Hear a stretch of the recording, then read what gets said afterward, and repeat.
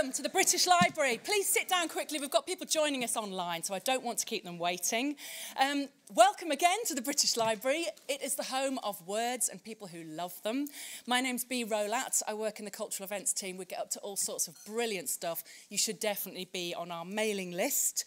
Now, people come to the British Library for knowledge, they come for inspiration. They come to examine concepts like the public good.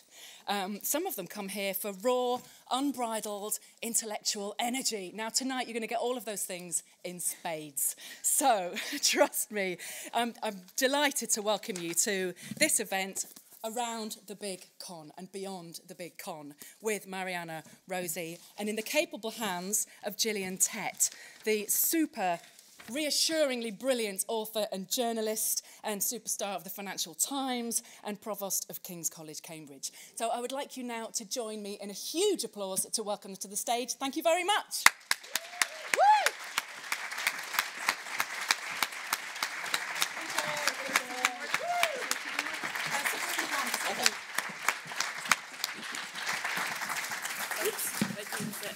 Well, thank you very much indeed for that fantastic, fantastic introduction. And it's great to see so many of you here tonight, and also to know that lots of you are watching online as well.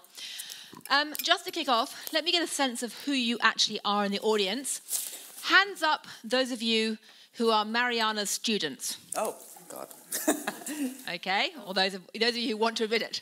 Okay, hands up, those of you who are economists. A few. Or Mariana's children. Whole first row. exactly. Well, they're all wannabe economists, I'm sure not. Um, hands up who are civil servants.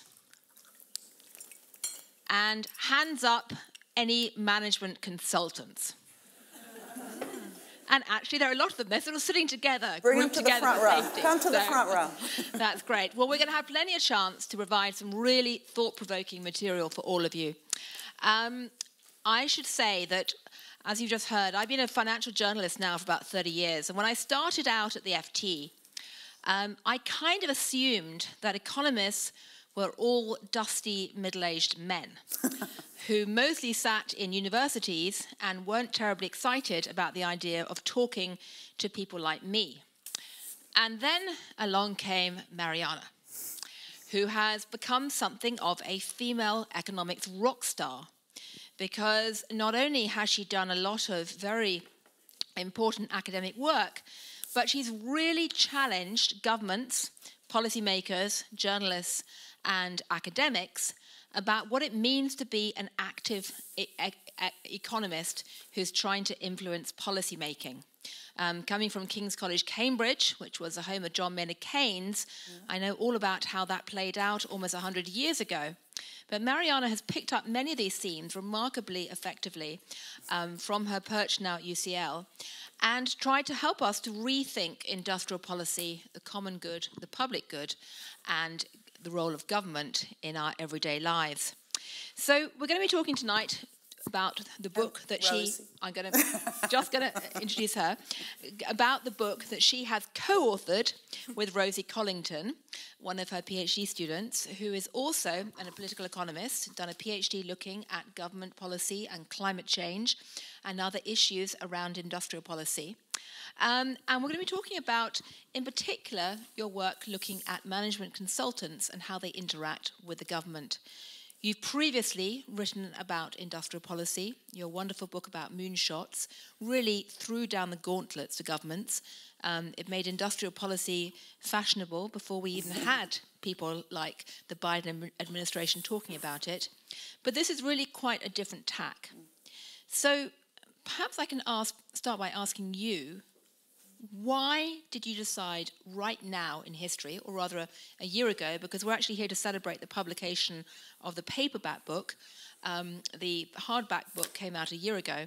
Um, but I'm curious, why did you think that 2023 was the right moment to have a go at management consultants? Good question.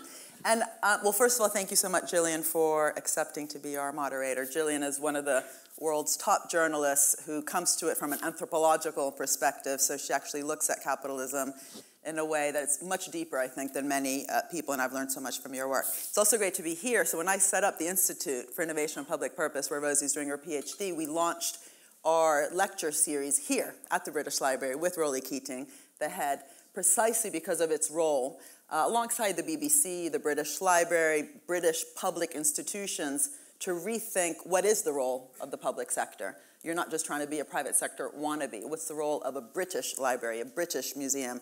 Um, what is the notion of public value inside the BBC? How's that different from private value? So our first um, seminar series was actually on that. Um, anyway, so it's great to be back here. So the reason um, that we wrote the book is that if you're trying to rethink the public, and I don't just mean the state, literally the concept of public purpose and public value, it's really important to uh, underpin that by looking also at what has happened over time at this kind of decimation of that concept. Um, the notion of the public good, for example, in economics is just framed as, a, as, a, as a, something to correct for a market failure. You know, markets work perfectly, sometimes they fail. Governments have to come in to invest in something that's good because the private sector is not investing in it. And there's all sorts of uh, rigorous theoretical uh, uh, bits below that that it won't go into. That's very different from thinking about what are our goals? What are we actually trying to solve? What is the common good? What's the objective, right? So, an objective oriented economy versus a corrective economy. And when I was writing Mission Economy, the book before this, on you know why don't we do kind of common goals, the common good, outcomes orientation around societal problems? Why do we only know how to do it during wartime? Think of the moon landing, which was all about, you know, we're doing it because it's hard, not because it's easy. 400,000 people did it, lots of different sectors, clear uh, public direction, but lots of different sectors made it happen uh, with, in the private sector. What struck me was the capacity that was inside that particular public institution, NASA, uh, the, the National Space Agency in the US, the desire to work with others, but the recognition that they themselves, within NASA, needed a brain, needed capacity, needed to insource investments. Otherwise, in the name, in the, um, the, the quote of this guy, Ernest Brackett, who's the head of procurement at NASA, uh, he said, if we don't do that, we're going to get captured by brochuremanship. So this is pre-PowerPoints. Uh, captured by sexy, shiny brochures that the private sector is going to come into NASA and say, we want to you know, work with you to go to the moon. And his point was, we, it's not that we don't want to work with the private sector, but we won't know which private sector institutions to work with. We won't even understand space. We won't know how to write the contracts. We won't know how to write the terms of reference. And that idea of, of NASA getting captured by brochuremanship, you know, speed forwards today, that's basically what's happened. And our book, sorry, not NASA, public institutions have been captured by brochuremanship, And it's, you know, our book is not against consultants. We're against a system, an ecosystem, the way that governments have accepted to work with private companies, and in this book, we talk about cons the, the consulting industry, where it's full, first of all full of conflicts of interest, um, which we're going to go into when we go into some examples, but especially the conflict of interest where the partner, so the consulting industry, has very little incentive to actually make the public actor smarter, more able, more capable. Um, and uh, recently, uh, Theodore Agnew, a Tory conservative lord in this country, um, on the back of seeing how much money the UK government was spending on consultants, McKinsey, KPMG, Deloitte, and so on, both during Brexit and during COVID, where the government was spending 1.5 million a day on, uh, uh, uh, on Deloitte doing the test and trace system, which failed quite miserably, not surprisingly. I mean, Deloitte might be great at some things, but test and trace was not their expertise. He said, What are we doing? We are infantilizing government. And this is a Tory conservative lord. He said, We are not allowing our civil servants to actually get their hands dirty with the crunchy, wicked problems of our time, because every time we have some big challenges, the digital divide, Brexit, COVID, we think government's not capable and we just outsource it. And it also brings a huge democratic uh, problem, right? Because a lot of that then isn't transparent. You know, McKinsey's not accountable to the voter, the government is. Um, And, and you know, really our point is that all the problems that we're facing, the next pandemic, if there is one, uh, the climate battle, again, I mentioned the digital divide, but all the sustainable development goals, which every country has signed up to, right? The 17 goals of the United Nations, or young people know what they are, saying them in primary school, the 169 targets beneath them, they require collective intelligence. They require the private sector, the public sector, the rising kind of third sector, even philanthropies, to work together well.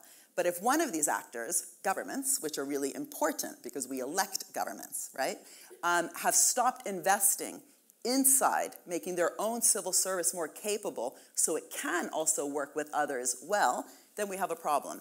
And even when they do invest inside, so some of the examples we look at are that even when they do have that capacity, the fear the, the kind of you know uh, risk averseness because as soon as a civil servant makes a mistake, bang, front page of the newspaper.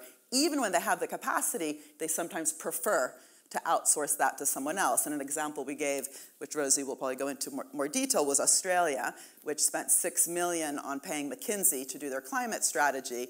And just Google how that went. It didn't go very well. But what was really interesting was not so much how much money was spent, not so much that um, that it kind of you know wasn't a very good strategy, but that they actually had the capacity in, uh, in-house. They had invested for decades, uh, actually a decade, in a center, a research center called uh, CSIRO. It's an internal uh, government research center basically around climate. Um, or similarly here, GDS, Government Digital Services, is one of actually the most capable government agencies around uh, digital. That, you know, why was the contract for test and trace just automatically given out uh, to a consulting company. Um, and just lastly, lastly, you know, I, I, I mentioned um, Lord Agnew being a conservative. Why? Because sometimes people think that this kind of, you know, anti-government, anti-inward investment is just a, you know, thing on the right. It's not true. Um, it was actually labor. We, we talk about the third way in uh, the book, that it was actually the Labor Party in some ways in this country that uh, increased the amount of outsourcing. Interestingly because the idea was we are not anti-state you know we want government investment but without actually having a theory of what we would call in our institute uh, public purpose and public value it soon became just kind of bringing in um, ideas from the private sector kind of ideas of static efficiency um, ideas of you know net present value cost benefit analysis uh, into government uh, agencies. And that itself, if you're bringing ideas from the private sector into the public sector, it kind of opens the way even more than to just say, oh, well, why are we even you know, doing it? Let's just outsource this to the private sector. Um, I could go on, but this is becoming a monologue, so why don't I just stop? But just to say that, at least for me, this was very much an evolution of some of the previous work from the entrepreneurial state to mission economy to say it's actually impossible to have moonshots around health climate and the SDGs without that capacity and capability, without dynamic uh, capacity, without also making the civil service feel valued so that they're also allowed to kind of learn by doing trial and error. And if there's so much fear of making mistakes, this idea that it's easier just to rubber stamp decisions uh, with consultants is, is part of the problem. Right. Well, thank you. That's really interesting. Um, I'm going to come to Rosie in just a few moments to ask some about some of the details, particularly in relation to Australia and the climate change story, which is fascinating and it's told in this book. But before I do, I just want to come back to you, Mariana, and push back a little bit. Um, because one of the things that's very interesting, one of the best examples of this process in your book I found mm. was when you start talking about IT. Mm. And you, you point out that ever since the in- introduction of computers in civil service departments, as early as the 1950s, um, governments had largely maintained IT infrastructure in house. The point being that, of course, you had a lot of expertise back in the 1950s, and it was indeed US government agencies that created the World Wide Web. Yeah. Things like DARPA created yeah. so much of what we rely on in our digital economy. Um, and then later on, you talk about the fact that actually there were huge um, tendencies for governments to start outsourcing IT services to the point where, as you say, during COVID, they had an in house IT department, but basically cho- chose to outsource that. Now, what I'm curious about is that, um, again, you say later on, you know, it, this was obviously a hugely profitable advisory market for the consultant, consultancy industry. The question, though, I had, though, is that it is not just government that's been doing this. It's been right across the corporate sector. Um, you know, there's barely a company out there that I know of that actually does IT in-house anymore. So, to what degree do you think you're talking about something which is just about government structures and public service, or is this just part of a general trend in our modern world towards more specialization and outsourcing? So, this is definitely a place also that Rosie should come in because actually part of her PhD is looking at digitalization and the lack of that capacity within governments. But just to kind of backtrack a bit, so the reason I wrote The Entrepreneurial State was precisely to kind of debunk some of that idea that all the tech, all the IT, all the AI today has come just from the private sector, right? So touchscreen, Siri, internet, um, um, GPS were actually all outcomes, not so much of public like genius, but public investment that required ability to use things like outcomes oriented procurement to crowd in really innovative solutions. Right, again, that's how we got to the moon. It was outcomes oriented procurement that got us camera phones, foil blankets, baby formula, software. What then happened, basically, over the last 50 years is not only um, and let me just be a bit simplistic about this austerity. So, lots of cuts to different types of public budgets globally that were actually really important in health and tech and so on. But the governance capacity, right, this is also about governance, it's not just about investment, to govern really difficult so called wicked problems. It's not about public or private doing the IT. The public sector needs to work with the private sector, even when it's a private provider. And Ernest Brackett's point, we're getting captured by brochuremanship, as I mentioned, was about we won't even know how to work with the private sector, how to do outcomes oriented procurement. Um, and, you know, having said that, some things are absolutely fine to outsource, right? I mean, one could argue about it, but there was a big strike when I was at Sussex, for example, because the students weren't happy that we were outsourcing the catering in the university. And, and there's lots of reasons why actually it's good to do uh, catering inside, especially during lockdowns or in hospitals, food, you know, uh, cleanliness is, you know, uh, uh, hygiene is really important. But digital, you know, data, if you completely outsource it, you literally will not know how to work then with some of those private actors that are doing that decentralized process, right? So this isn't about top down government doing everything. That would be ridiculous. This is about capable public, private, third sector actors working well together on really difficult problems. And if you don't have any expertise in house on digital governance, you will not even know how to work with those who you've outsourced tasks to. Right. Well, Rosie, tell us about the story of McKinsey and climate policy in Australia, because McKinsey crops up a lot in this book. Um, in many ways, they are, it seems, public enemy number one in this. Um, in that, you know, there's a wonderful passage apart from this where you talk about McKinsey becoming a go-to in the world of macroeconomic restructuring, and all the European governments have been using McKinsey for managing their debt problems and things. But tell us about the Australian story and um, what happened there. Yeah, thank you, and thank you very much for everyone for being here. Thank you again, Mariana, for taking me on this crazy adventure um, of doing a PhD and writing a book, and thank you, Gillian, for being here. Um, it's a huge pleasure. Um, so yeah, we I mean we don't focus on McKinsey on purpose in the book. You know, part of the issue, part of the challenge is that McKinsey does seem to be at the heart of so many of the um, crises that we could identify and that we looked we looked at. Someone um, amazingly uh, who reviewed the book for an academic journal actually made a list of all the cases that we had um, mm. uh, uh, that we had done, and that, that apparently we didn't have too many of one um, consulting company. There were 80 case studies that we included in the book. Um, but so in the case of McKinsey in Australia, so I don't know, is there any anyone here who is following Australian politics? Um, closely, or anyone who is Australian, maybe you are aware of some of these. Okay, great. So um, you will know, you will know, be very aware that the Australian government's problem with consultancies is not just about its relationship with McKinsey. Um, so I'll talk a little bit about the, um, the, the, case that we talk about in the book, which is uh, the Australian government's contracting of McKinsey to help develop its essentially net, net zero strategy that um, as a signatory to the Paris Agreement, it was required to develop, um, all signatories to the Paris Agreement um, are required to develop nationally determined contributions plans, and the Australian government developed a strategy to do this. When their report was launched at COP um, in 2021, which COP was that? I'm, I've got my PhD brain on, I've got COP numbers floating around um, everywhere at the moment, but COP in 2021, it was ranked by some of these independent indexes um, that look at all of the strategies of different governments around the world as 60th out of 60th, uh, 60th out of 60 in terms of um, whether it would actually enable the Australian government to reach um, net zero or, or, enable Australia to transition to a net zero economy. Um, and when, when commentators and climate analysts started digging into this, um, they realized that the modeling was completely full of holes, uh, completely full of holes, and that um, the, in, indeed the models did not enable or would not enable the government to reach net zero. I think, I think it enabled them to get 80% of the way to net zero, and then there was this huge reliance on technologies that uh, do not currently exist and are very far from existing to reach the rest of it. Um, there was also some kind of dubious um, you know, proposals within that uh, uh, around, you know, Australia's um, uh, uh, transition away from coal. Um, now, McKinsey was contracted by the Australian government to develop uh, the, the, analysis underpinning this strategy.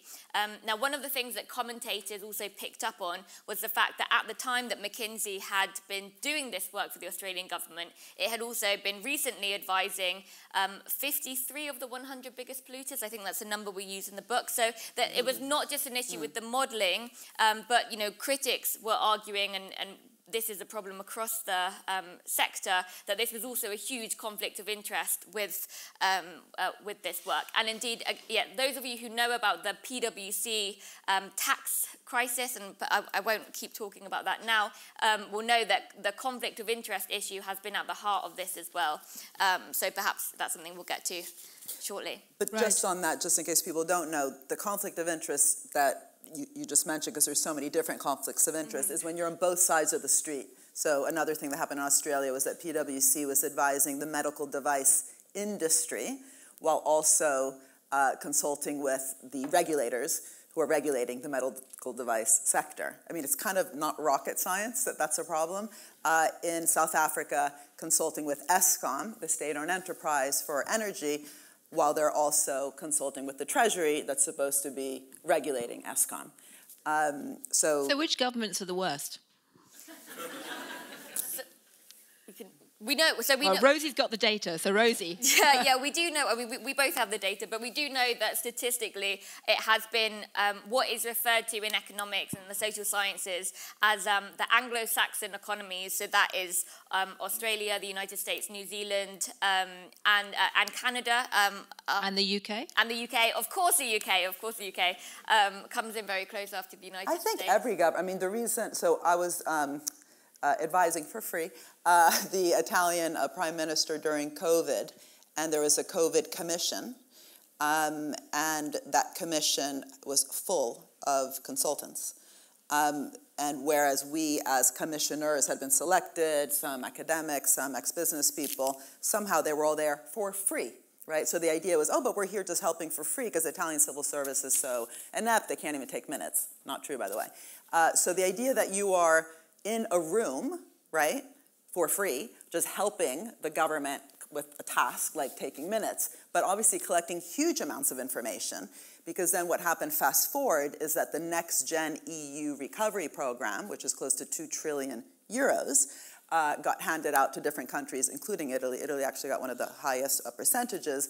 And uh, surprise, surprise, McKinsey is, you know, at that time was under Draghi, actually, next government, was um, uh, consulted in to help uh, structure the Italian recovery program, and then all the contracts, right?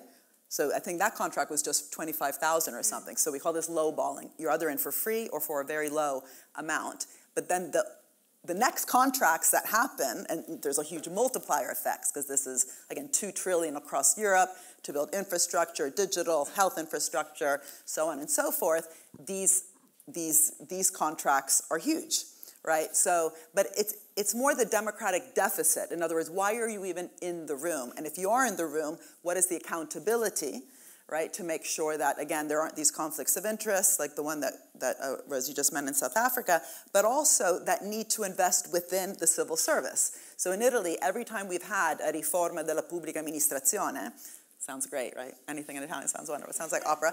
It ends up just being a reform of the civil service, which ultimately is just cuts. No one really argues in Europe, as part of this next gen EU, that in order to administer it, in order to implement it, in order to work well with private institutions, and even to work well with consultants, we need to invest within the civil services ability. So, one of the things we also argue for is the need to kind of revive uh, uh, institutions like GovLabs. Uh, like in Chile, they have um, Laboratorio de Gobierno. Again, sounds good. It's in Spanish. So it's basically a GovLab. It's a safe place within government, basically to make mistakes. Um, and, and so, unless we actually create a learning culture, a knowledge culture, admit that we need collective intelligence between all the different actors so they work together symbiotically, towards collective goals and not parasitically, as we've seen in the health sector, for example, then it's impossible to confront the 21st century challenges.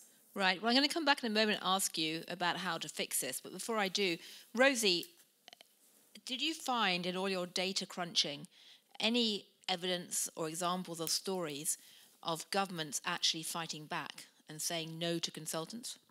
So we have seen that, uh, we have a few cases of that actually. The case that we talk about in the book is the Danish government's decision to introduce a cap on spending on consultancies. So we all think of Denmark as being this, you know, wonderful welfare state, and indeed it is um, a, a, very big government, has a very big public sector. Um, but even there, um, in 2019, the government had identified that spending on management consultants had steadily increased, um, and they basically said, right, we need to uh, cut uh, this spending in half, and they introduced a cap and they didn't just um, introduce that limit, they also established an in-house public sector consultancy because they recognized that many of the departments across the government had by then become dependent on um, external consultants as a kind of source of, uh, of capacity to deliver kind of critical tasks, even things like budget evaluations, um, you know, were being done externally and this sort of thing. Um, so instead they established this internal public sector wide uh, uh, public sector management consultancy um, that became a way for, uh, or a way of ensuring that the government didn't lose this capacity um, or didn't have a kind of shortfall in capacity when they did that. Yeah. That's But fascinating. Well, The blessed. question of fighting back is a problem because it's actually the governments have it's almost self harm. Like we don't actually blame consulting companies. It's not that they have pushed their way in. Governments have been part of that problem. They have you know uh, implemented this kind of decimation of the capacity. Right. And I think that's very important because we're also not against consulting. You know, nurses consult, doctors consult, academics consult. We're looking at an industry that has a very problematic relationship with governments as kind of sectors, and the ecosystem is, again, kind of parasitic, predator prey, and not symbiotic and mutualistic. And that can be changed if government itself wills it to be changed. Well, I find the Danish example very interesting because, you know, p- apart from the fact my other half is Danish, um, Denmark often strikes me as a gigantic Boy Scout camp where everyone is kind of nice to everyone else and wants to do the right thing and observe the rules and has a very strong sense of pride in being Danish and a very strong sense of respect for what it means to be part of a collective community and collective Danish community. And they've just come off, you know, several decades of a remarkable turnabout story in terms of growth and dynamism, which may be one reason why the government has the confidence to actually even look at these issues, which most European countries right now don't. And I'm curious, you know, if you look at, say, the Danish example, where they actually have said, whoa, let's try and actually look at what's happening here and try and imagine another model.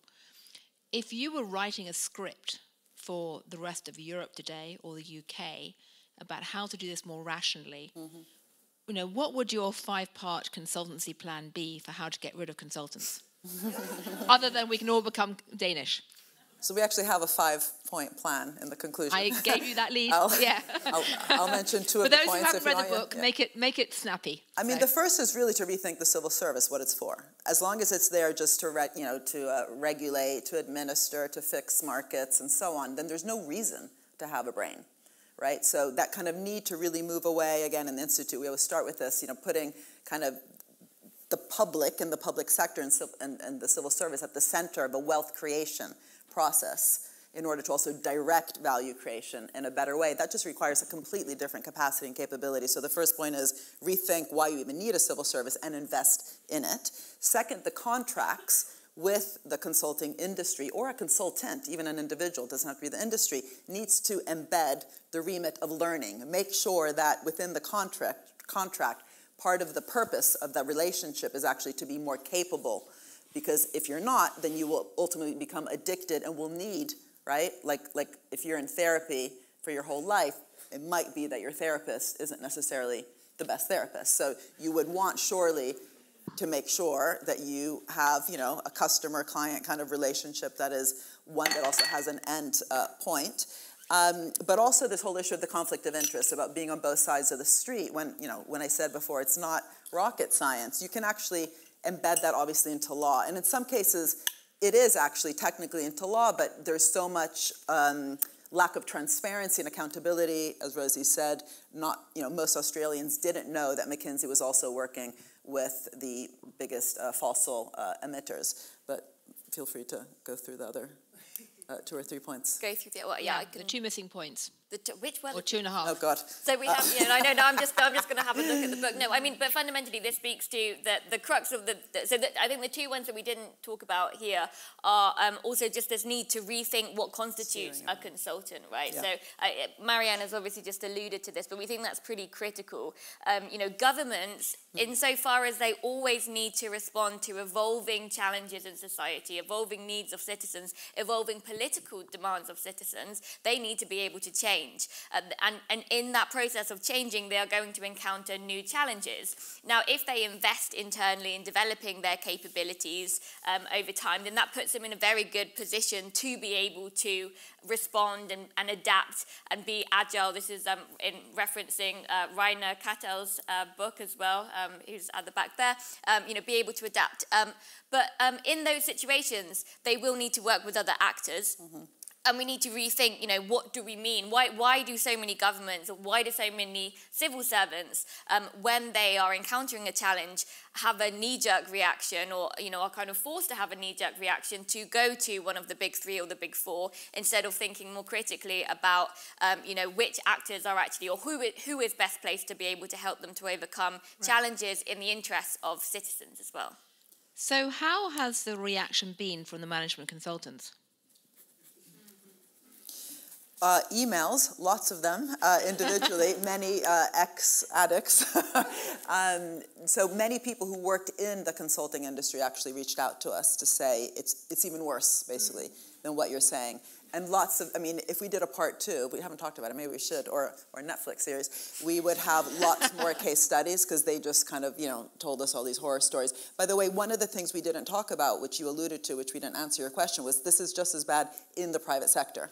So, one of, so that's why the subtitle is um, how the consulting industry weakens our businesses, infantilizes our governments, and warps our economies. That weakening our businesses, again, it's not necessarily the consultant's fault. When you have businesses that are downsizing, so firing workers, that are having massive share buyback schemes, like $7 trillion have been used by the top uh, 500 companies in the last 10 years just to buy back their shares, to boost stock prices, stock options, and executive pay. When they have practices like that, whether it's downsizing, mergers and acquisitions, uh, uh, shareholder value maximizing that ends up with these massive share buybacks. It's nice just to kind of rubber stamp it as though the it, you know the practice came in as advice from a consultant. In other words, it's kind of a cowardly way not to own up to your own decisions, especially when you know those decisions might be. Um, controversial. So in the same way that governments to, you know, fearful of risk, we look at how both the kind of you know problematic practices like share buybacks and downsizing, but also the good practices like ESG, environmental and social governance uh, criteria for governments, but also the climate strategies. As long as they're rubber stamped by a consultant, somehow it'll go down the throat more internally of the board or of whoever. So it's really in some ways a call to action, but a call to to uh, bravery within all the different actors to own the decisions and also to learn to work better together. And especially that whole democratic deficit problem, right? I mean, it is about, again, owning right. decisions that are often political decisions, if, if we're talking about governments, or you know, potentially controversial decisions. Uh, but the five, just to make sure we just state them, I won't explain them. The first was a new vision, narrative, and remit for the civil service. Second, invest in the internal capacity and capability creation. Uh, third, embed learning and an endpoint into contract evaluation, right? So it's not in therapy your whole life. Fourth, mandate transparency and conflicting interest disclosure. That thing about being on both sides of the street. And maybe you want to say something about the fifth one because. Um, it, it, it, became very important in the book, uh, a government that rose so it can steer, and where that kind of slogan. What, what does that mean? That sounds a bit like a management consultancy slogan. Yeah, it does. Well, it, well, in it fact, it, it is. A government. It is. It was. Um, so in uh, so earlier, Mariana talked about how this was not just a problem of kind of 1980s neoliberal Thatcher, Reagan, right? We actually saw um, a huge, uh, rapid growth in outsourcing in governments that had adopted this um, kind of paradigm called the third way. So New Labour in the UK, Clinton in, in the United States, other governments in, uh, well, uh, across Europe and Australia. Um, and in the 1990s, um, in, in response to the um, neoliberalization, that's a horrible word, of government, so where governments had increasingly outsourced, increasingly privatized um, things during the 1980s, in response to this, this movement grew among um, academics and among uh, policymakers and, and, and also management consultants who were saying, you know, we need actually government, to, we do need government to come back in. Um, we need government to be able to steer the ship of the economy and to steer society. So government has an, uh, does have an important role in this regard but it doesn't need to do things um, if they are cheaper and more effective to do in the um, private sector. And this was captured in this slogan of government should steer but not row. Um, so what we say at the end of the book, towards the end of the book, is that actually if you have a government um, that is not able to row, then it will lose the ability to steer. So it's a bit of a, um, yeah, I, I, guess a bit of a convoluted metaphor, but that's why we have it there and why it sounds like management consulting jargon was because it was. a bit of exactly what it's called. Um, yeah, doing jujitsu on the management consultants, like stealing their own um, slogans to use against them. I'm curious. I'm going to turn to the audience for questions in a few minutes, but I have two other big questions. Um, firstly, I'm curious um, I asked you earlier, you know, what are the worst offenders? I asked you then which governments have actually pushed back. Mm. Um, are there any governments that have actually taken this five part plan to heart and actually implemented it or never actually used consultants in the first place? You know, I'm curious, for example, about a country like Singapore, which has a very different model of public service and civil service. Um, in many ways, I think it's probably one of the most effectively run governments um, out there um, in terms of actually having holistic, joined up policy making. Yeah. Um, not talking about freedom of speech or anything like that, but in terms of holistic policy making, they are very effective. And I don't think they've ever used consultants much, have they? I mean, but are there other examples you can think of where governments are actually doing the right thing already? I mean, one of the things that we do, again, in the Institute is we have like case studies, right? Think of the Harvard case study, uh, MBA uh, kind of uh, methodology where because they value business, then of course you want to understand how business works, what works, what doesn't. There's very few case studies of public institutions, precisely because we've kind of undervalued them. And so for me, at least the question is not which country is perfect, which country has done everything great, but what are the cases, the examples, like GDS, to be honest, in the UK, which is a super interesting uh, example, and how can we learn from those cases to scale them up? In the history of GDS, I don't know if any of the GDS, is, is Mike Bracken here? He said he'd come. Are you? Ah, there you are. Okay. we should just start calling out a bunch of people and get, and get them to come on stage. And that's Government but, um, Digital Services. Government Digital Services. GDS, Mike Bracken, Tom Loosemore, and others who set it up. And Mike, I know I'm, I'm giving the simplistic story here, but you know, government wanted a web, a, a, a, government tech platform, and initially did what many governments do, which was to think that you know, oh, government's done, we can't do it. Serco, let's get Serco or some other private provider. Serco did a terrible job. It was actually people that had i you know BBC iPlayer type experience who then came into the cabinet office said this is ridiculous we can do this set, set up GDS set up gov.uk which wins an international design award makes it also one of the sexiest places to work if you're a computer geek a software designer uh, which by the way we haven't talked about that but the talent drain from governments to the private sector. Reversing that is exactly what GDS did because of the inspirational leadership, just made it a really attractive place for young, techie kind of folks uh, to go. Um, and examples like that, where you're not just setting up a website, right? This wasn't a tech fix, but actually a way for government, for example, to work better between departments, right? We need interdepartmental, interministerial collaboration. Everyone talks about that, but that doesn't happen both because governments, you know, uh, uh, ministries like to work in their own silos, but also some of the te- underlying technology, the infrastructure doesn't actually enable that. Um, so you know, we're very interested in examples like that, as well as the GovLab kind of example that I mentioned before. That itself, in some ways, is a pushback against consulting because it's an admission that you actually need to invest in the experimentation, the learning by doing, the trial and error and error right. and error, which you know venture capitalists are allowed to fail and even brag about it, but we don't admit that actually that experimentation and that for each success you need to bear with eight or nine failures in government too but then how do you learn from that failure? You need to invest in that capacity to learn. But I'm curious though, because you point out that talent is a key element of all this. Um, and, you know, the idea of becoming a civil servant is not exactly wildly sexy and cool mm-hmm. as far as, you know, much of the, you know, younger generation is the average right age in NASA was 25. Uh, during the Apollo mission. It was extremely attractive to work in there. And, and, you know, it's not just about the space race. Obama after the financial crisis, while here we did austerity, in Europe we did austerity, the US had an 800 billion stimulus program. And initially, Obama said he wanted to direct it towards a green kind of redirection of the economy. That made it extremely attractive for some of the top kind of energy scientists to go into government.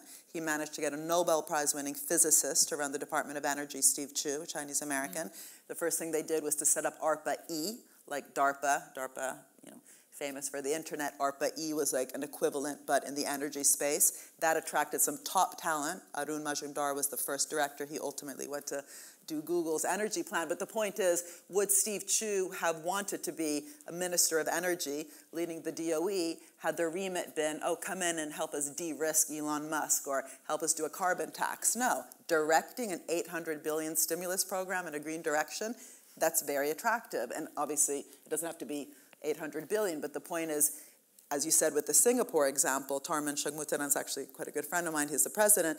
He talks about this that the remit, the kind of mission oriented remit of the Singaporean government and all the different agencies is what attracts the top talent. But you see, one of the things I'm really curious about in the case of Britain, because um, even as Obama was doing this, mm-hmm. someone like Paul Volcker, you know, a great public um, servant, um, created an institute at the Harvard E. Kennedy School to try and inspire the next generation of civil servants and found it incredibly difficult to actually get funding or to even make it particularly, um, you know, put it on the radar properly because there just wasn't this appetite to support um, civil servants and to try and train up the next generation in a really excited, committed way. So I'm curious, Rosie, um, you look like you're part of the younger generation. Um, what can be done to make people, students, people your age feel really excited about going into civil servants and actually doing public service for the wider good and not just trying to outsource everything to consultants? Mm, yeah, it's a great question. And we discuss it a lot in the book, actually. We talk about how this is a systemic issue, right? This isn't just about um, governments being bad at offering jobs or consultancies being very good at, at jobs. We recognize, you know, I, I, yes, I graduated not so long ago from two political science degrees, and I can tell you that in both of the universities where I studied that, um, going to do a graduate scheme for a management consultancy was the graduate scheme par excellence that everyone wanted to do. Yeah. Um, and in the book, we look at why, um, you know, what attracts people to do that. And we see that actually these companies do invest crazy amounts of money also in recruiting graduates. And they have huge promises like, you know, we will support your learning and development. Um, you will be at the forefront of the green transition. You will get lots of experience and lots of, this isn't an advert to go and do one of these schemes, by the way. Um, uh, you, will, you will be able to get lots of experience in lots of different, uh, in lots of different areas. And hey, guess what? You'll also be able to pay rent in London, right? Now, we know that that is not the case for a lot of civil service positions, unfortunately. So this is fundamentally also, you know, a, a, a, uh, yeah, a systemic issue. We need we need to not only create civil service jobs that are um, interesting, that support people's learning, but that fundamentally pay well, um, so that people can uh, be able to make the choice, have have the freedom to make the choice between you know going to one of these management consultancy schemes. Which, by the way, actually, the Financial Times did a great report. Um, I think it was from last year, looking at the growing disillusionment among young management consultants, um, and that's certainly something that we found. Um, you know, we uh, there was there was a time when we were both getting dozens of emails a day, which was amazing. Um, you know, from from people who had read the book, um, who were quite young as well, who had been in consulting and then come out, um, and were just feeling completely disillusioned because it wasn't living up to the promises that they had been promised um, when they had gone into the career and they kind of didn't know what to do next. Um, so yeah, that's something we think is, is an issue. But you know, we think most people probably go into it for the right reasons, but they become disillusioned very quickly. Right. Um, my last question before I turn to the audience, um, though I've got plenty more if nobody else wants to ask questions, um, but you look like quite an engaged audience, so start thinking of what, what you want to ask. Um, but my last question is, do you have much hope that somebody like Rachel Reeves will take this book to heart? If a Labour government gets in, will they start being tough on consultants?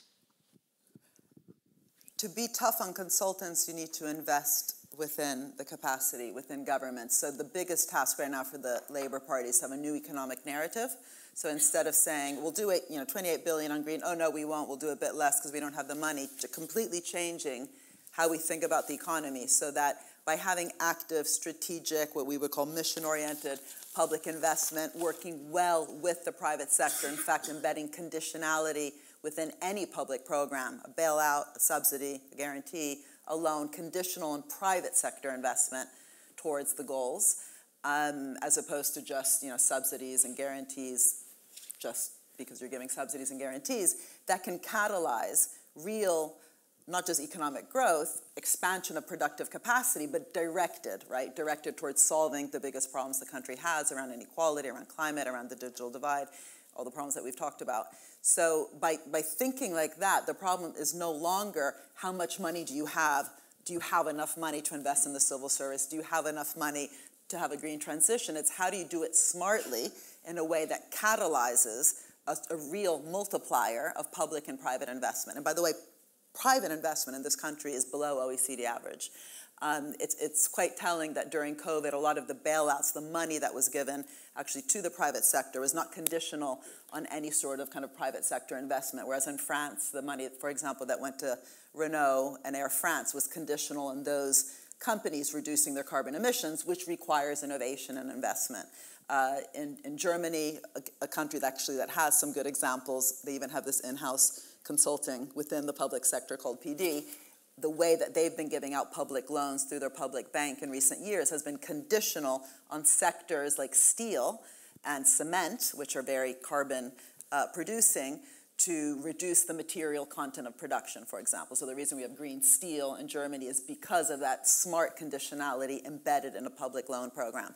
So I think what labor needs is much more language like that. Instead of being kind of a Tory light, saying, oh, we're green, the Tories aren't green, but there's no money for green, which just doesn't sound very smart. It's really like rethinking how you even talk about budgets in such a way that you're not focusing on short term deficits or debt figures, but on that long run expansion of productive capacity with a direction towards sustainability, health, and well being of the population.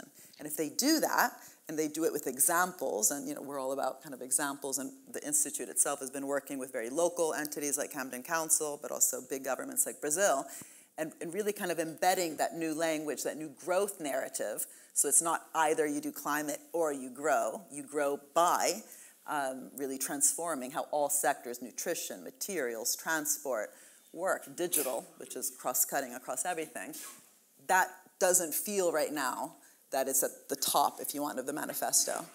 And right. that requirement then to accompany that with a massive wave of inward investment in the capability of the civil service to govern these problems with other actors really, I think, would be a very important progressive narrative for labor. Right. Have you spoken to Rachel Reeves directly about the book? Um, about the mission economy book, yes. In fact, you might know that mission that uh, adopted this missions approach, but they didn't read the book enough to realize that growth is not the mission. uh, growth is the result if you do this stuff well. Um, no, we haven't actually talked to the Labour. I mean, in, like privately, yes, you know, but not to Labour as a as an so with Ed Miliband, for example, we've talked quite a bit about right. the need to do green and uh, public sector capacity building at the same time. Right. Well, I don't think Rachel Reeves is in the audience, sadly, but plenty of very smart people are. So um, we're going to have some questions now from the audience. We can also have questions online. If you want to put in your questions, do send them over online. But otherwise, um, we're going to go to good old fashioned hand, wa- hand waving. Um, I can see a number of hands straight away. Um, let's start just near the microphone on that side of the aisle and then the other side of the aisle. Um, it would be courteous but not compulsory to identify yourself. Um, and please keep your questions or comments brief so that I can get as many of you into the conversation as possible. Hi, my name is Rachel Headings. I'm a PhD student at University of York, and I'm working around political economy issues of food and food systems. Mm. Um, so, one of the recurring themes throughout all of your work is this idea of redefining value and public good, common good, and better defining what we're aiming toward in terms of mm-hmm. you know what what do we actually want to achieve what on a moral level on a value level are we trying to do my question is and you just touched on this a bit in your response but on a very practical level how do we start engaging in these really big conversations around how we define these really big scary topics especially when so much around values and mm. um, ideas are embedded and based on assumptions, and people don't even necessarily have the language or capacity to think about these on the day to day. So, how, when we're trying to facilitate change, do we start these conversations about what do we mean by value and by public good and common good? Mm-hmm. So, how do we get time to think? Do you want to think about that, or should I answer it straight away? Two or three. Yeah, let's say two or three. Okay. On the other side, just the other side of the aisle, and there's a question over there. Yeah. Um, the question I'd like to ask is: Have you given much thought to the role that quangos can play in this, maybe a reinvention of quangos? And I wanted to share my experience of the very short-lived Commission for Architecture and Built Environment. Sorry, can you raise your hand? Sorry. I can't see you. Yeah, oh, there sorry. you are. Yeah, Commission, Commission for Architecture and Built Environment. There was an extraordinary organisation on very, very tiny amount of government money. It sat between private sector and public sector, speaking truth to power. Um, had that independence, thought leadership, and it was an incredible, um, sexy and exciting place to work and attracted some amazing people. So, um, mm-hmm. so the role of Quangos, I guess. Mm-hmm. Okay, and we'll take um, one more question just further on the road, then I'll come on to this side over here to be balanced. Um, one more over there. Yeah, okay, yeah, yes, there.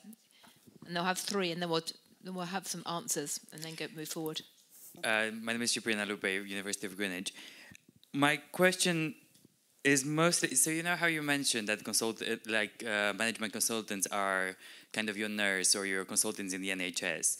I was wondering who is the GP that writes the referral to the management consultants? And is there any role that uh, party affiliated think tanks play in that decision? Mm, interesting. Do you want to go first? A second. You want me to go first? Okay. So thank you for those questions. Excellent. Um, I'll perhaps address the first one. You want to take one? Um, so you know what's interesting is, again, we work with so many different uh, governments in the Institute. We also train civil servants. A lot of our master students are here. It's a master's in public administration trying to change uh, actually the curriculum, the training of bureaucrats, so that the word bureaucracy is actually an interesting, nice word, you know, a, a creative bureaucracy, as, as, as Rainer's book uh, has in its title. Um, but a lot of the governments that we work with trying to kind of instill some of this thinking are like, you know, again, Brazil, Colombia, Germany, Spain, but my lessons for the question you've just asked is more at the very, very local level. Um, so the work that we've been doing in Camden Council, we are in Camden Council today, um, setting up kind of five different missions, right? So the whole point of missions is to say there's you know huge problems out there that actually require every sector uh, and every actor, public, private, third sector, but also sectors in the business sector to work with government to solve but that doesn't happen just by, again, having an industrial strategy that gives that money to the life sciences sector, right? So missions, problems that really galvanize that public-private uh, partnership. But then the question I think that comes from your question is who decides what the missions are? Like, is it this top down, Kennedy style moon landing, but applied to the SDGs? Or how do we truly co create by, first of all, giving, like, by valuing people, by actually valuing them enough to give them voice, to actually co-create and have a voice in setting these missions. So even though, you know, SDG 13 around climate change is really abstract, then nesting it, negotiating it, contextualizing it at the very local level, the first thing that we did with Camden was also to bring, for example, resident associations and um, citizen assemblies at the local level to the table to even define what do we mean by a green mission. Secondly, to give dignity and self worth to people. So during COVID, and we were working during COVID, there was a huge rise of food banks, right? Inequality is alive and well in this country. It's one of the most unequal countries in the OECD, uh, transforming the food banks into food cooperatives, right? Where the people benefiting from a food bank, which is very important, were also in charge um, and felt dignity in that process, and a green food bank, right? So really nesting the green also in the everyday. I mean, one of the, coming back to the, the country examples, uh, another interesting example that we, sorry, work that we've done has been in Sweden, where at a very high level, their mission is to have a fossil-free welfare state, but then that falls at the everyday, like school meals and I'm an Arsenal supporter, so I don't like talking about Manchester United, but you know, Marcus Rashford should win a massive prize for the work he did during COVID, reminding us all how important school meals are. But what was interesting in Sweden was that the discussion about school meals also became interesting because school meals in Sweden have to be healthy, tasty, and sustainable. So again, the climate mission runs through the everyday, whether it's a food cooperative in Camden, a, a school meals, in Sweden or anywhere. So really making sure that as many parts of the community, right, at the local level are part of that negotiation, that word co-creation that we often throw out there, but co-creation doesn't happen without people actually having a voice at the table to discuss these issues around directionality. And I think there's lots of lessons to be learned how to do that well and not tokenistically, and then scale up those lessons from the local to the regional to the national and surely at the global level. Our work with the European Commission, which really got missions to even be something, there's a missions instrument today in Europe because of our work. My, my uh, lesson was that there was no co creation whatsoever. It definitely was very top down, and maybe at that regional, sorry, community level, that was the only way to do it. And then it falls on cities, regions, uh, member states across Europe, and that's where that negotiation happens. Um, do you want to take the Quango one? Yeah, Rosie. Yeah, I mean, just very briefly, I can say, I mean, certainly we do need to think about how government is structured, right? And, and how we achieve, you know, when we set missions, something Mariana has also written about in Mission Economy, when we set these missions, we do need to think about how government is organised in, mm. in order to achieve them. And, you know, from my own PhD research, that is certainly true with pursuing green transitions, that's quite important. Um, but, um, you know, as fundamentally is how they are resourced and, and how they structure their what you know what we call government production, how, how they how they structure what they do, um, and Quangos um, actually specifically and arm's length bodies in general um, in the UK and in many other countries have been among the biggest users of consultancies um, for the reason or, or, or, you know the literature suggests that it is because they are sort of slightly out of view of the um, you know direct direct line of political scrutiny, so they're able to get away with it a bit more. Um, so, so yeah, I mean potentially, but I think more generally we need to think about how government is structured. Just very quickly on the, if I understood this, who writes the referral? Um, you know, gov- governments do have bidding processes. You know, there aren't, uh, you, of course, during the pandemic, some of these got, uh, you know, particularly during the pandemic and otherwise, also it does happen. They get subverted in ways that are, you know, completely undemocratic, frankly, and um, corrupt. But um, you know, there are there are bidding processes. There there are tender and procurement processes that are in place. What the real challenge is, is that the, the big three and the big four companies in particular, and other very large consulting companies that we talk about in the book, um, are able to invest huge amounts in their bids. Um, so, so that the, the kind of premise of having this equal playing field for all of the companies to bid on a contract and that their expertise, their knowledge, their value creating potential will automatically shine through in this process. Um, uh, it, it, doesn't work in practice um, because the um, very large companies are able to lowball, they're able to invest huge amounts in, you know, they have whole departments dedicated to writing tenders for companies, right? So this kind of, uh, you know, idea that this is a free market of value creation and, uh, and ideas and knowledge just doesn't actually work in, in, in practice. Right. Um, are there any questions online? Perhaps I should quickly ask, or while, while you're gathering up the questions online, let me quickly take the question over there. Lady over there. Um, Laurie Gorley from one of these um, consulting firms that we've referenced. So thank you very much for the invitation. Now I know why you've invited me, Mariana. thank you. I might reconsider the next invitation.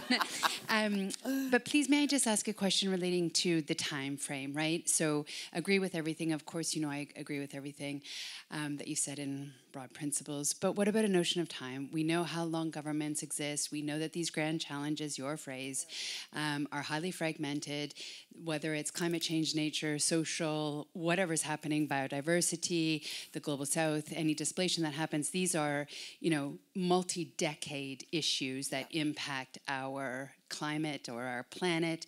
And what do we do? What, what about the factor of time? Mm really good question. That's a great question. Even um, for a consultant, such a good question. Okay, we got a que- question just in front of her over there, and then take.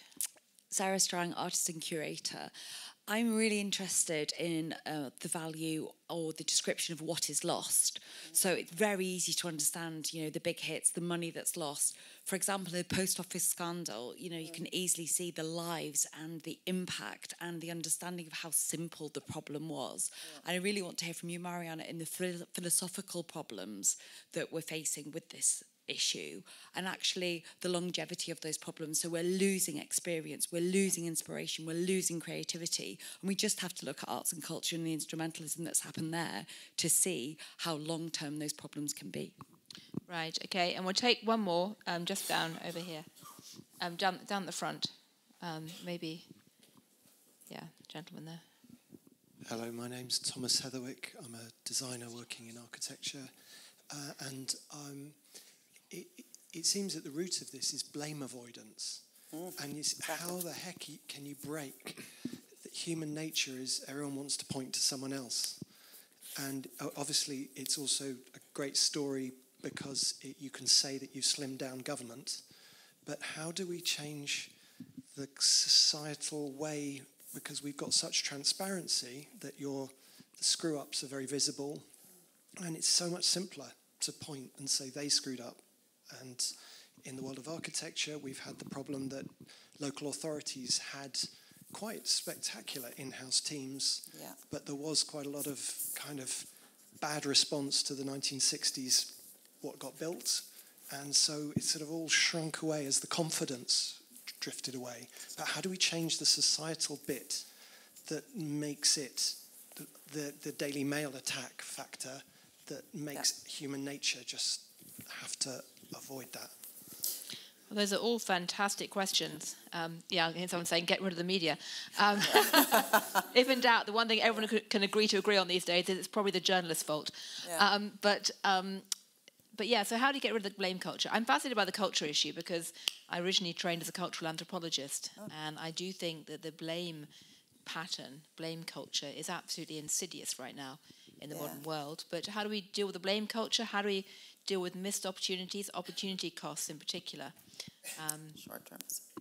Yeah. So um, maybe starting with the last one, Thomas, I don't think there's anything deterministic or human nature in it. I think you're absolutely right in pointing to these different places where we've seen it, but in some ways, you know, I've been arguing for a long time that we've engineered this risk averseness within at least the public service bit that, we're, that we've been talking about today.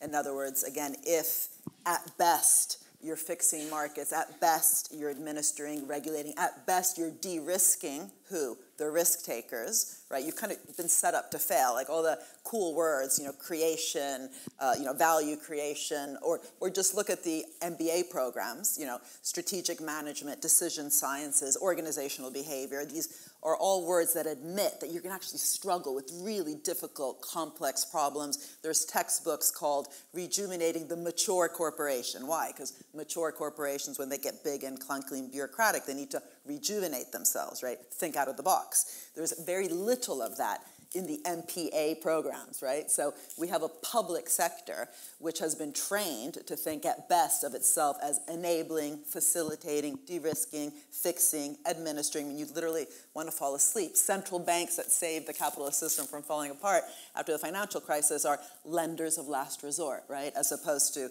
state banks that we've seen globally are investors of first resort. So that kind of Singapore question that we asked about before, if you actually set up governments and agencies, right? It's not governments, public agencies to have a remit that they are co-creating, they are taking risks, sharing risks and rewards. You can bet that the risk-taking culture will be different, and then it will be admitted that you might make mistakes. So instead of fearing that mistake and blaming someone else, that blame culture, it might be uh, that there might, you know, God forbid, even be a remit that you're supposed to make mistakes. And in fact, DARPA and ARPA-E, back in 2014, I got all the so-called mission-oriented agencies together and said, how do you do it? What do you do? What's your human resource structure like? And Cheryl Martin, who was the second director of ARPA-E, said, we actually uh, evaluate people within the agency by how much risk they were willing to take. So if you never make mistakes, you're kind of booted out because they think you just didn't take risks, um, and how much economy-wide impact your successes, ha- successes have. And I think that comes to um, your question because that short termism, you know, we have short termism in the private sector, you know, the bottom line, shareholder value maximization, quarterly returns. We also have short termism in the public sector because of the electoral cycle.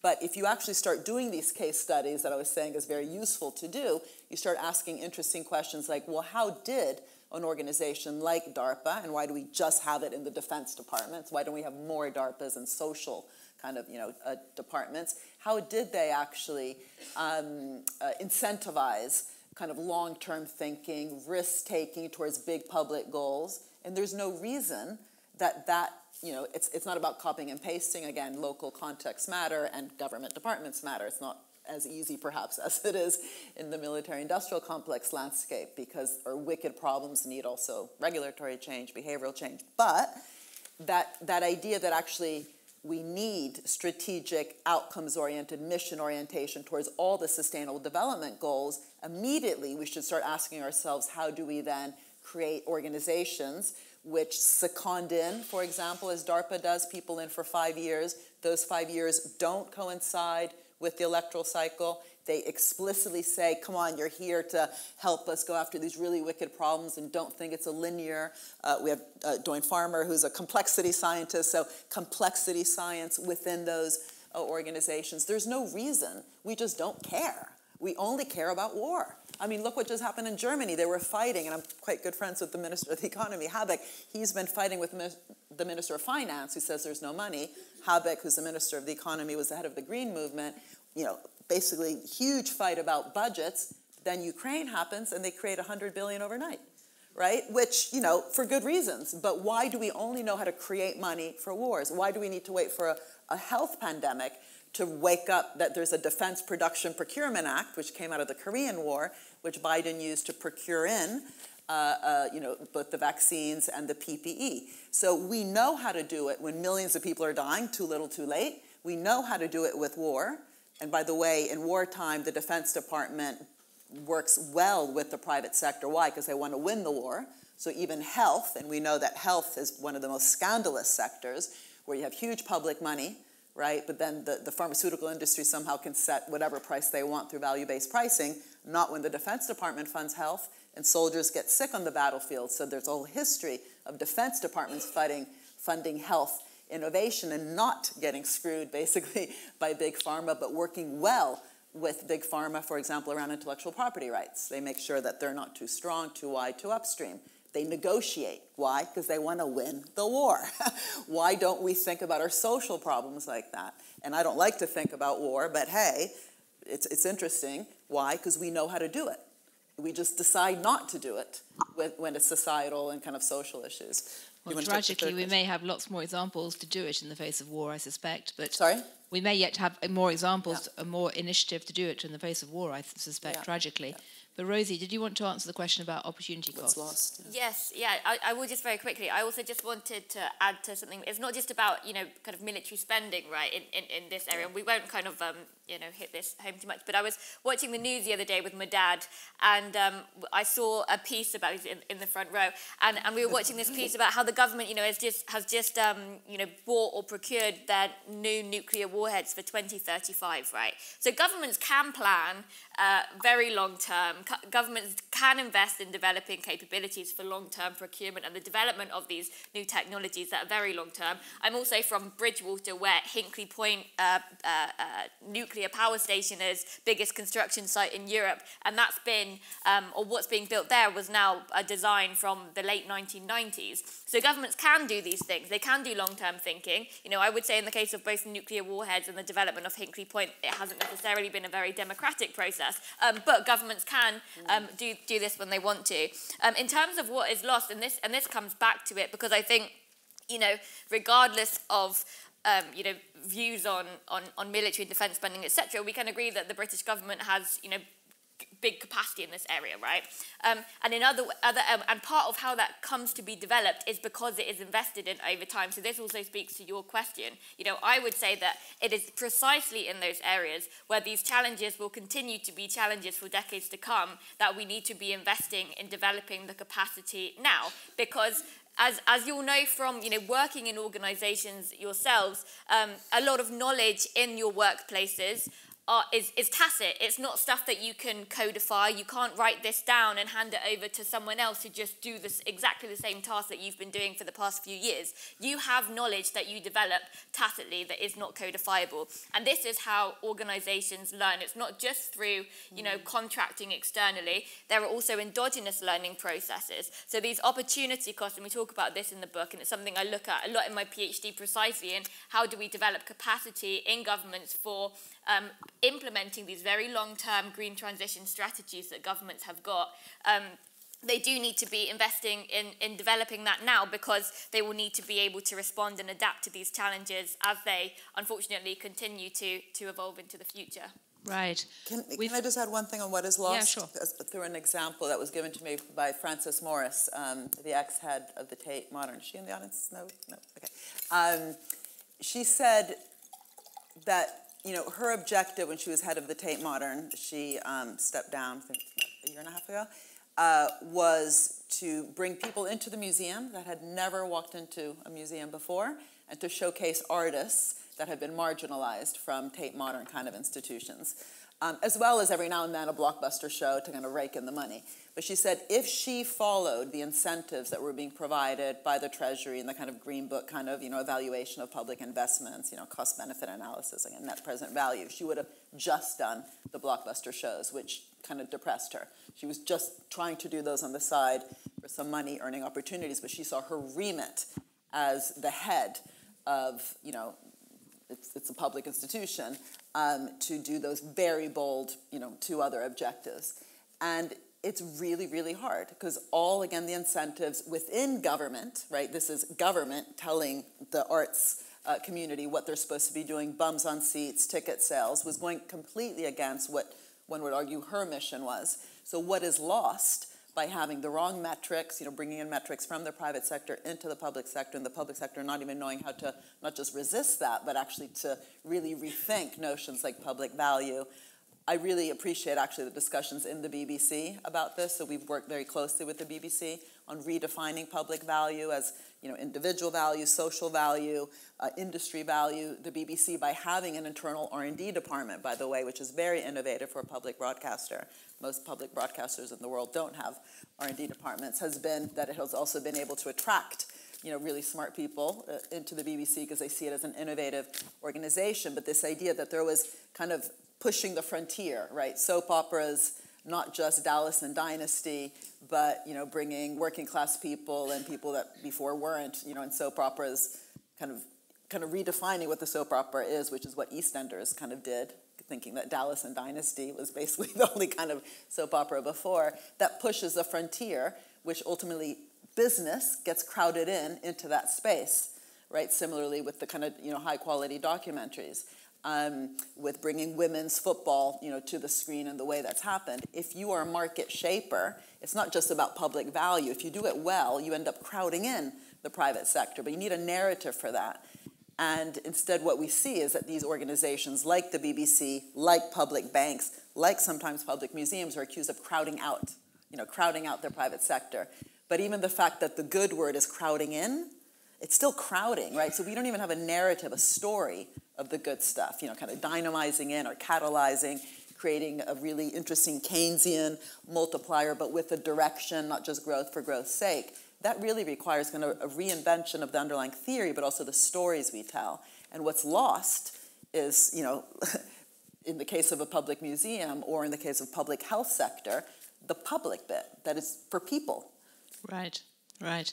I should say, by the way, that I think the makers of Coronation Street might take exception to thinking that EastEnders was first. But anyway, um, just by the by, having grown up with Coronation Street, I've got a question online.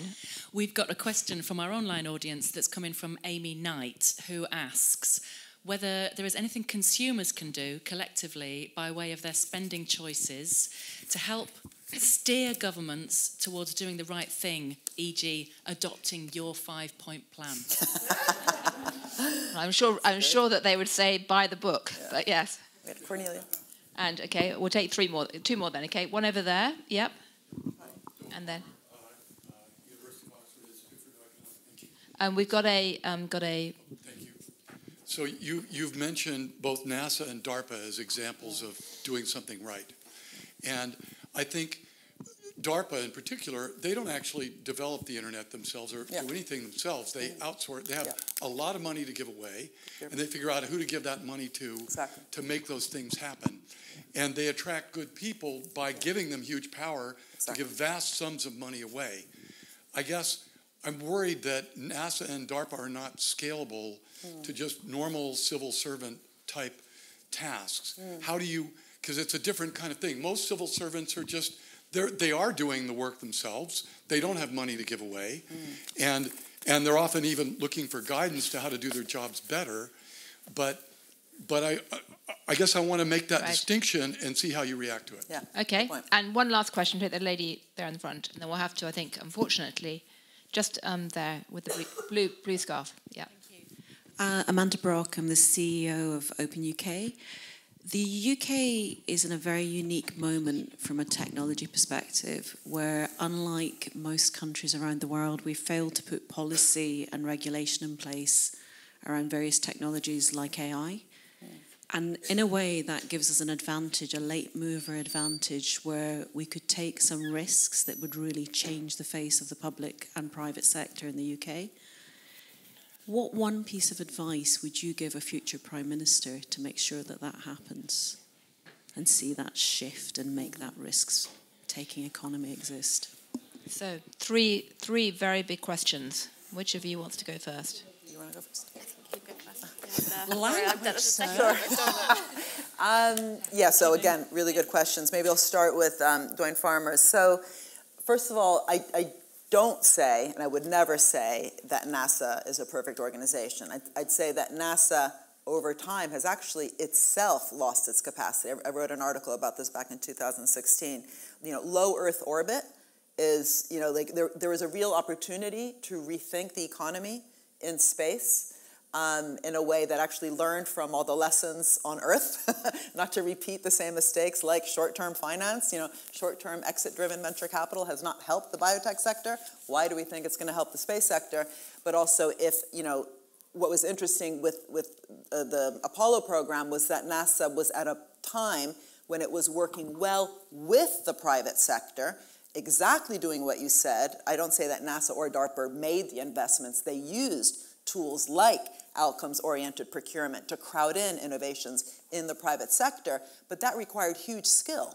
they had to change procurement from cost plus procurement to fixed price, outcomes oriented procurement with incentives for innovation and quality improvement in the private sector. Very different from how many health sectors work with private pharma where you know they do a lot of the investments or procure in solutions but negotiate very badly because there's no clear outcome of what they're trying to achieve so i would argue a lot of pharmaceutical companies get away with murder in their literally because people die in their relationship with public uh, agencies that aren't as strategic as NASA was with the uh, uh, uh moon landing. They had contracts for the moon landing that said no excess profits which is basically no rents. If you read Ricardo, Adam Smith, Karl Marx, they actually had a theory of rents different from profits. Rents are excess profits, excess, depending on, we could go into a theory of rents here, we don't have time. But just the fact that NASA knew its role had kind of self worth in working with the private sector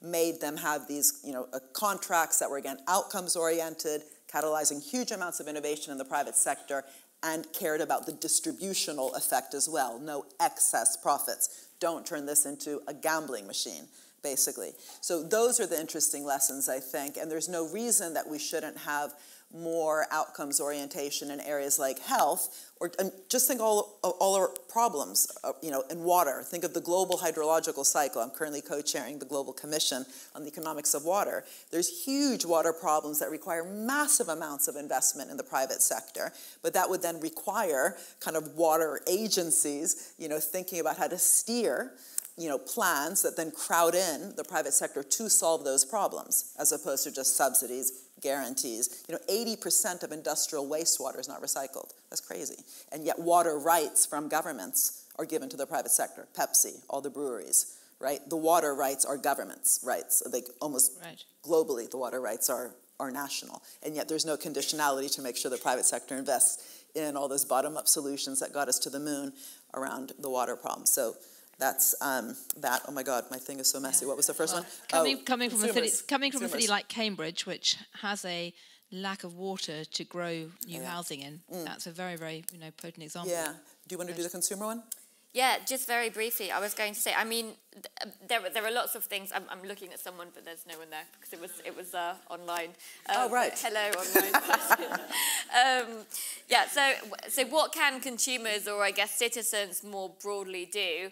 Um, I think there are a few things. I think you know first and foremost, we if if we look at this as we have in the book as a fundamental transformation of how the governments and public services are run, then there are always ways that people can engage with um, campaigns and with MPs, for example, um, when there are new uh, developments happening at a local hospital or um, all of these things. There's kind of quite tangible things um, that citizens can do, um, yeah, in, in, that respect. Uh, uh, yeah, get involved in these. You don't just have to buy the book. Um, you know, we would encourage you to, to, to do more.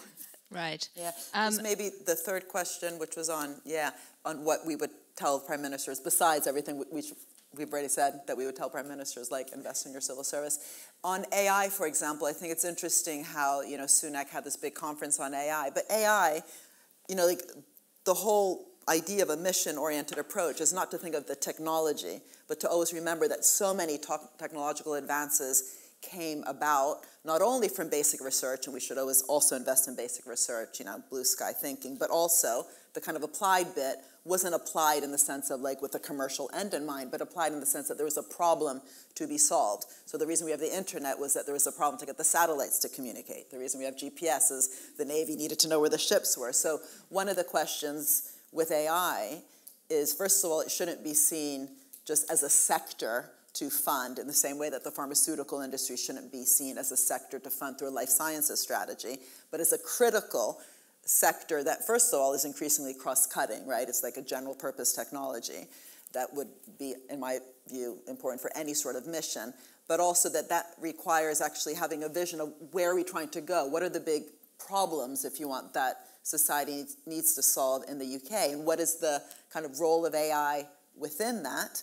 But also, how do we think of it not just as like tech or science, but think of, for example, what happened recently in Denmark, where they had huge investment in renewable energy and had big companies, right, that national champions like Vestas, but they realized that a really critical aspect of renewable energy was also the digital services around it. So the ecosystem around renewable energy was just as important as the energy itself. And today, Denmark, a tiny country, is the number one provider of high-tech green digital services to China, and China's spending you know, trillions on, uh, on trying to reduce the pollution that's being created by a very polluting manufacturing base. So just in terms of your question with the UK, like really thinking through, first of all, where are we trying to go, and how do you not think about just like, oh, we're going to be the best AI, you know, capital of the world, but how do we actually create a really dynamic ecosystem around data, around digital services, AI uh, within that, but for what? Right. And, and I think that idea that Cameron had, but then completely forgot almost right away, of actually making the UK one of the greenest countries in the world. What is the role of tech? What is the role of data? What is the role of digital governance around that? That's actually an area and the services around that that the UK actually could compete in. I don't think, for example, that we'd be the most competitive in electric cars. We've basically deindustrialized the country. But the service sector, instead of it just being financial services, and 80% of finance in this country goes back to finance, finance, insurance, and real estate. Right. So not only is the climate on fire, finance is on fire, really rethinking financial services, digital services, uh, AI-related services for a directed economy towards more health and well-being and climate and sustainability. You know, that could be a very interesting niche for this country. Well, let's hope so. We certainly need to find lots of interesting niches right now to this growth. Um, well, listen, we're sadly we are out of time. I think it's been a fascinating discussion um, personally, I sort of take away three key themes. Um, one, consultancy is a bit like a cancer on the body politic in the sense that it keeps spreading inexorably um, and doing tremendous harm. And in some ways, insofar as it's weakening business and weakening government, um, could end up being to the detriment of us all.